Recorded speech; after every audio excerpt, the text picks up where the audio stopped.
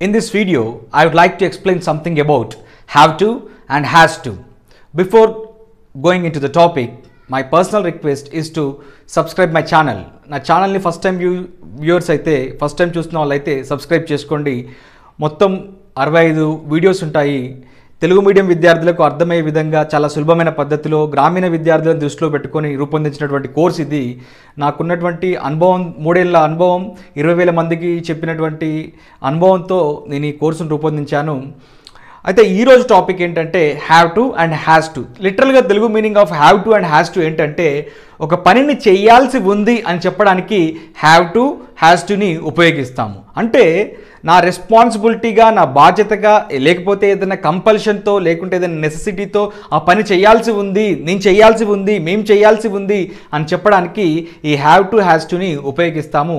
దాన్ని ఇంగ్లీష్లో మనం చెప్పినట్లయితే రెస్పాన్సిబిలిటీ అంటాము లేకపోతే మోరల్ రెస్పాన్సిబిలిటీ అంటాము లేకపోతే ఏదైనా అవసరానికి చెప్పినప్పుడు నెసెసిటీకి చెప్పినప్పుడు మనము ది హ్యావ్ టు హ్యాస్ టుని ఉపయోగిస్తాము. లేకపోతే ఏదైనా కంపల్సరీగా చేయాలని చెప్పినప్పుడు కూడా ఈ హ్యావ్ టు హ్యాస్ టు ఉపయోగిస్తాం యాక్చువల్గా హ్యావ్ అంటే ఏంటి? ఐ హ్యావ్ ఏ వాచ్ అని చెప్తాను. అంటే నాకు వాచ్ ఉంది అన్నట్టు. ఐ హ్యావ్ ఏ కార్ అని చెప్తాను. నాకు ఒక కారు ఉంది. కలిగి ఉండుట అంతని అర్థం. కలిగి ఉండుట. నాకు ఒక వాచ్ నాకు ఒక పెద్ద ఇల్లు ఉంది అని చెప్పడానికి నా నేను నాకు ఒక పెద్ద భవంతి ఉంది భవనం ఉంది అని చెప్పడానికి నేను దాన్ని కలిగి ఉన్నాను అని చెప్పడానికి మనం హ్యావ్ని ఉపయోగిస్తాము. రైట్ ఈ రకంగా మనం హ్యావ్ టు హ్యాస్ టు ఎట్లా ఉపయోగించాలో చెప్తాను. దానికంటే ముందు ఒక విషయం గుర్తుపెట్టుకోండి. బాగా చాలా ఇంపార్టెంట్ విషయం. ఎప్పుడు టూ వచ్చినా దాని పక్కన వర్బు బేస్ ఫామ్లో రావాలి. బేస్ ఫామ్ అంటే ఏంటి? First form of the verb అన్నట్టు. బేస్ ఫామ్ అంటే first form of the verb to తర్వాత ఎప్పుడు కూడా ఫస్ట్ ఫామ్ ఆఫ్ ద వర్బ్ని యూజ్ చేయాలి. అయితే కొన్ని ఎగ్జాంపుల్స్ చెప్తాను. ఇక్కడ రాశాను ఐ హ్యావ్ టు గో నేను వెళ్ళాల్సి ఉంది. షుడ్డుకు బదులు హ్యావ్ టుని యూజ్ చేస్తాము. షుడ్డుకు బదులు ఈ హ్యావ్ టు హ్యాస్ టు రెండింటిని యూజ్ చేస్తాము. వారు ఖచ్చితంగా అటెండ్ అవ్వాల్సి ఉంది క్లాస్కి అని చెప్పడానికి ఈ మీటింగ్కి అటెండ్ అవ్వాలని చెప్పడానికి they have to attend this they have to attend this you have to మీరు రోజు లేకపోతే ఎనిమిది గంటలు పడుకోవాలి అని చెప్పడానికి you have to sleep eight hours అని చెప్తాము.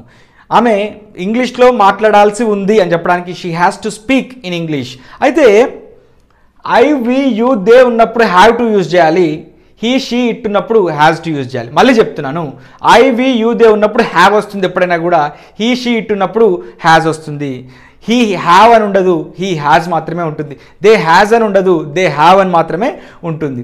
రైట్ ఒక ఎగ్జాంపుల్ తీసుకొని చెప్తాను. మేము ఇంగ్లీష్ నేర్చుకోవాల్సి ఉంది అని చెప్పాలి. ఎలా చెప్తాము?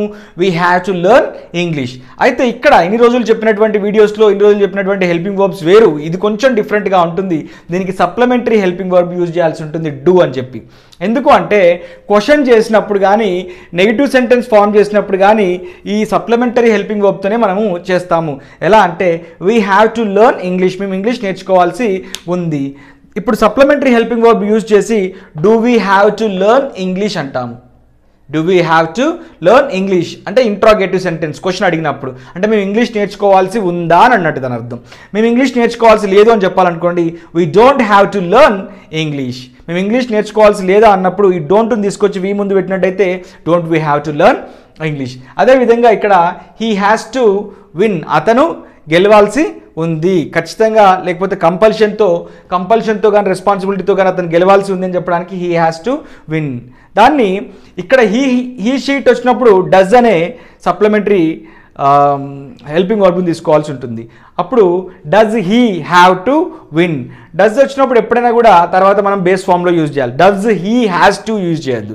డజ్ తర్వాత మళ్ళీ హ్యావ్ యూజ్ చేయాలి.